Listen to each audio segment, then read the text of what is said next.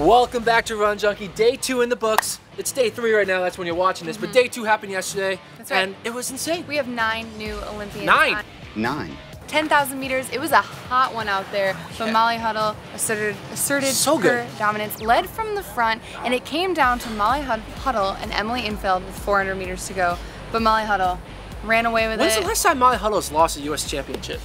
It's been 84 years. Emily and Infeld makes her first team, finishes second, as does Marielle Hall, who finishes third. But all three of these ladies are entered in the 5K Ooh. later this week. Think any of them are going to pull a Ben True, scratch, uh, make the 5K team, scratch a 10K? If so, Kellyn Taylor, you're, make you're an Olympian. So you're telling me there's a chance? Moving on into the 800, a few surprises. Chanelle Price doesn't make the final.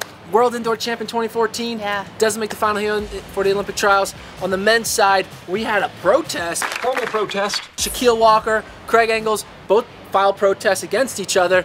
Turns out Craig Engels wins the protest. He's moving on to a nine-person final. Three NCAA athletes in the 800 final. We've got Raevyn Rogers in the women's final. And Isaiah Harris, a freshman at Penn State, makes the final. And then Craig Engels. Man, I love college. Hey! Over the women's discus, three new Rio Olympians. Whitney Ashley, Shelbi Vaughan, and Kelsey Card. Two of them collegiates. Two. Wisconsin and A&M. Yeah. And in the women's long jump, Brittney Reese jumps the second, ties Marion Jones for the second farthest U.S. jump ever. 7.31 meters. 7.31 meters. That's like... Tianna Bartoletta gets second, and Janay DeLoach gets third. But Bartoletta, super impressive, is jumping in the finals, steps off the track to win her 100 prelim. A la Jarrion Lawson in NCAAs. Speaking of Jarrion Lawson in the 100, a lot of the top stars make it through, but Trayvon Bromell who's been dealing with an injury. He's been tweeting up a storm for the past like month. He, guess uh, what, folks? Don't don't worry anymore. He's back. He 994, back. wind legal. Whew. Looks outstanding here at Hayward Field. He's blessed. He is blessed. I feel very blessed. On the women's side, all the top ladies get through. Jenna Prandini, English Gardner looking fast, looking smooth. Candace Hill into the semifinal. Can a high schooler make an Olympic team?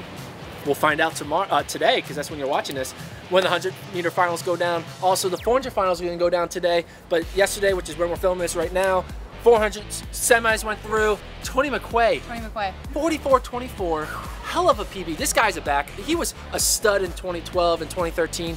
Was down and out in 2014, 2015, but now he's back officially. He's back. PR in the semis.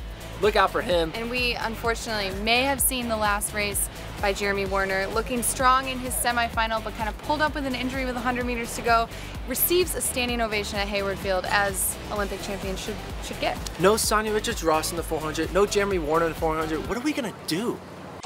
I think I need a hug. Anyway, today going down 400 finals, 100 finals. Also, your shoes a little better. They ain't bad. You got your fix.